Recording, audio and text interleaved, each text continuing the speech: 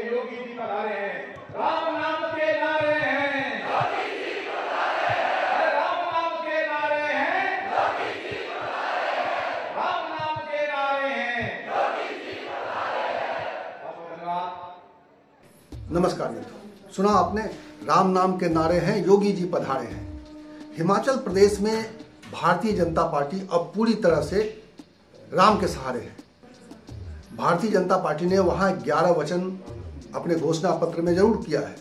लेकिन उसकी आखिरी उम्मीद अब हिंदुत्व का कार्ड है और राम है। और इसीलिए योगी आदित्यनाथ उत्तर प्रदेश के मुख्यमंत्री जब वहाँ लगातार दौरे कर रहे हैं और एक दिन में कई कई सभाएँ कर रहे हैं तो वहाँ वो राम को याद कर रहे हैं। और योगी जी वहाँ पर किस तरह का मंत्र दे रहे हैं, उन ग्यारह वचनों में से किसी की बात नहीं हो रही है उनकी सभाओं में।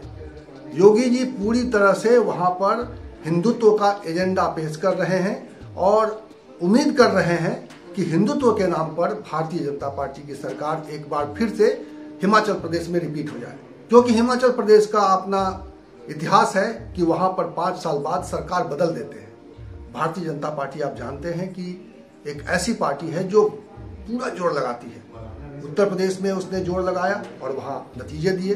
उत्तर प्रदेश में लंबे समय बाद सरकार ने रिपीट किया है। योगी जी खुद मुखिया हैं उत्तर प्रदेश के और वो उन्होंने ये कहानी भी बताई है वहाँ के लोगों को। कैसे उत्तराखंड में ये करिश्मा हुआ है मोदी जी के नेतृत्व में, ये भी बता रहे हैं।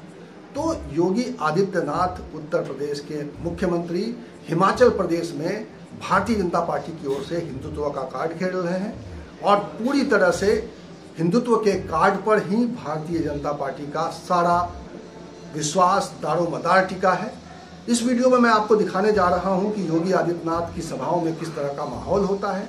योगी आदित्यनाथ जी क्या कहते हैं और कैसे वहाँ की सभाओं में हिंदुत्व के एजेंडे को आगे बढ़ाया जा रहा है। कैसे योगी आदित्यनाथ वहाँ पर इतिहास की कहानियाँ बता रहे हैं, कैसे वो बता रहे हैं कि जब भारत आज़ाद हुआ था तब क्या हुआ था और आज़ादी के समय के किस्से क्यों बता रहे हैं योगी आदित्यनाथ। सुनिए, पूरा वीडियो अगर आप देखेंगे तो आप खुद समझ जाएँगे कि भारतीय जनता पार्टी का विश्वास अब जाकर कहाँ टिक गया है और हिमाचल प्रदेश का चुनाव कितना मुश्किल हो गया है भारतीय जनता पार्टी के लिए, इसको अब बताने की ज़रूरत नहीं है, क्योंकि आपने अभी जो दो तीन दिनों से चर्चा चल रही है, एक वीडियो बहुत ही वायरल हो रहा है, जिसमें भारतीय जनता पार्टी का एक बागी उम्मीदवार चुनाव प्रधानमंत्री उसको कह रहे हैं कि चुनाव मैदान से हट जाइए, और वो वीडियो वायरल हो रहा है।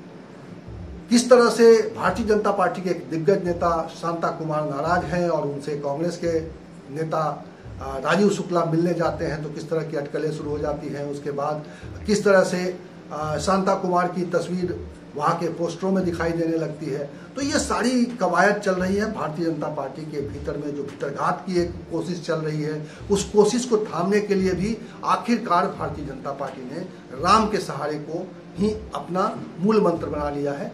उत्तर प्रदेश में पहली बार कोई सरकार रिपीट की है। और पाँच साल मुख्यमंत्री रहने के बाद फिर से मुख्यमंत्री बनने का अवसर केवल मुझे प्राप्त हुआ यही आह्वान करने के कल उत्तराखंड की अपना स्थापना दिवस है।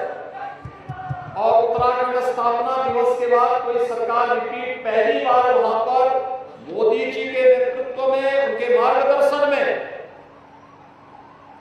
वहाँ पर धामी जी की सरकार ने, भारतीय जनता पार्टी की सरकार ने फिर से रिपीट किया है। और मैं कह सकता हूँ कि जब आठ दिसंबर को परिणाम आएँगे तो भाइयों, बहनों, मैं विश्वास के साथ कह सकता हूँ कि हिमाचल प्रदेश फिर से भारतीय जनता पार्टी की सरकार को यहाँ लाने का कार्य करेगा। और यही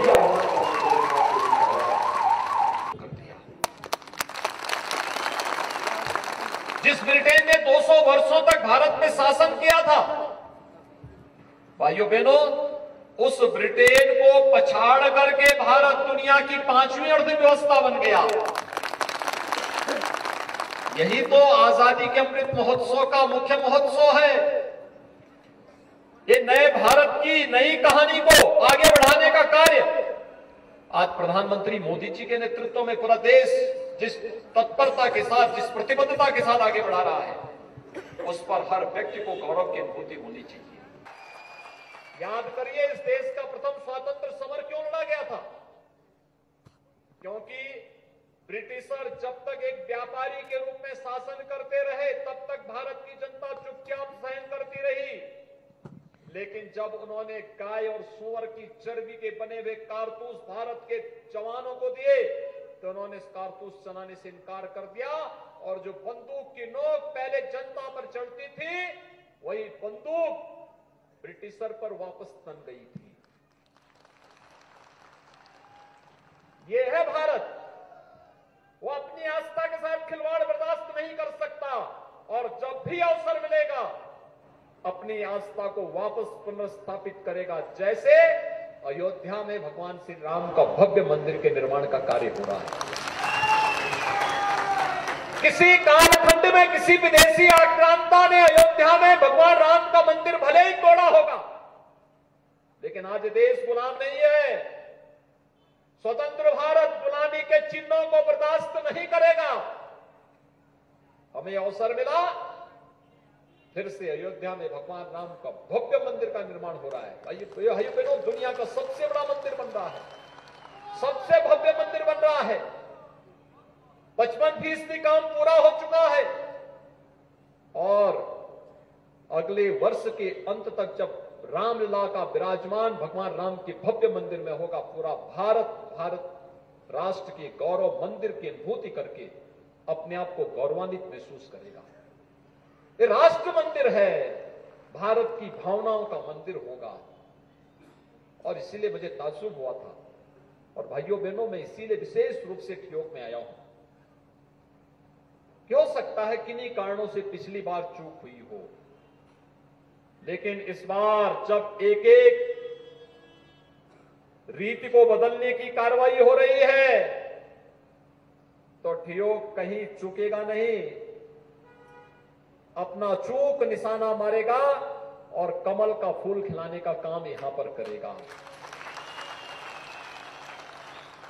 भाइयों बहनों संकट के समय जो आपका सहयोगी हो वही सच्चा हितेशी है.